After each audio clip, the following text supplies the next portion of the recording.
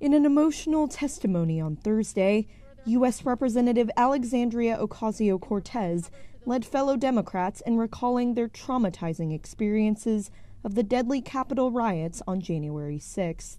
Speaking on the House floor, she doubled down on calls for Republican politicians, including her own colleagues, to be held accountable for the attack.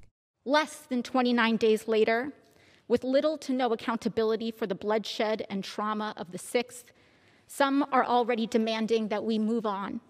Or worse, attempting to minimize, discredit, or belittle the accounts of survivors.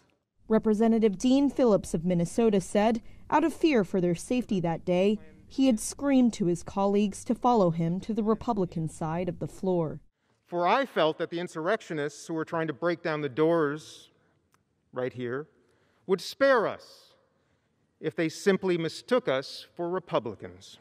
But within moments, I recognized that blending in was not an option available to my colleagues of color. So I'm here tonight to say to my brothers and sisters in Congress and all around our country I'm sorry. I'm sorry.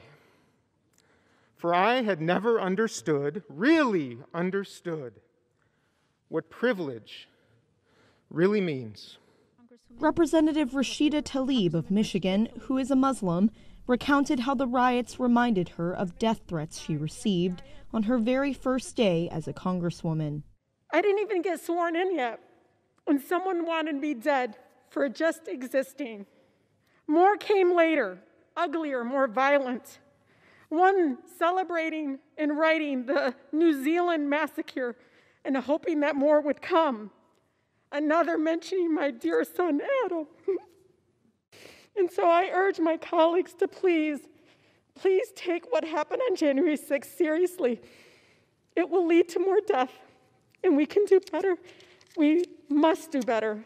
No Republicans participated in Thursday's testimonies, which came shortly after the House voted to remove controversial lawmaker Marjorie Taylor Greene from two high profile committees. Greene, a Republican, has come under fire for her history of inflammatory remarks, including supporting violence against Democrats.